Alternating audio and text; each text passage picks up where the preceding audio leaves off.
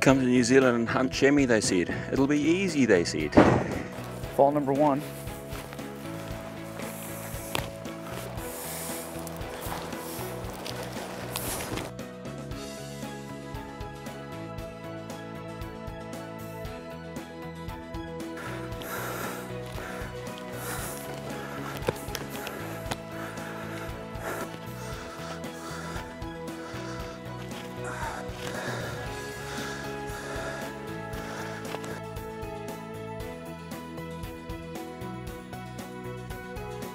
He's more young buck, isn't he?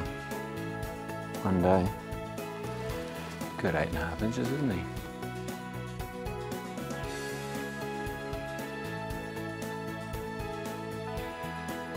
I'm ready to shoot if you're ready. Just wait, I'd rather he was quartered for you. Gotcha. If you've got his front shoulder, Yep. watch out, there's deer running right behind him. Ready? Ready. Uh, I think you got him, bro. He's flattened. He's flattened, eh? You see him go down, bro? I saw him go down. I saw him go down. Do you get that okay? Sorry, Steve? Just enough gun, eh?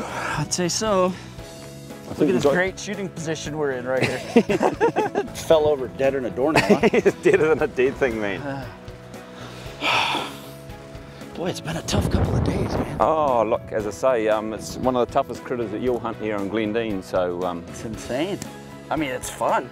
301 yards, I mean, in, in this huge evening down downdraft, um, great shot. You experience the whole gamut of uh, seeing these guys in their habitat. We've seen a whole heap of chamois, haven't we?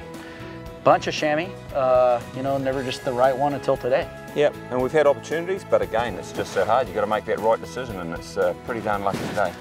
I tell you you what, did. though, I mean, this is, you know, it's all part of the adventure. Um, you know, people might have some misgivings about what to, what to expect here, and essentially, there's nothing flat here.